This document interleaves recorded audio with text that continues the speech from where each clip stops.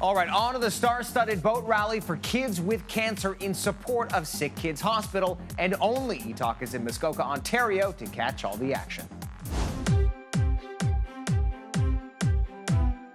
What's up, E-Talk? The weekend kicks off with a swanky VIP party where the top fundraising teams get to choose their celebrity navigators.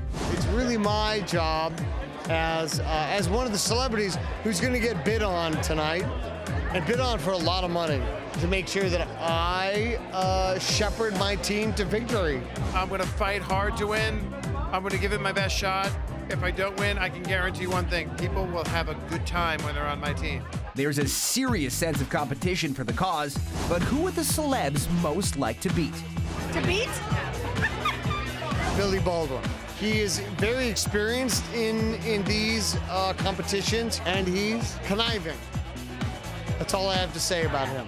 After not much sleep and a group brunch, it's time for the main event. Watch out for us. There's no competition. We'll see you. We'll see you in the winner's circle.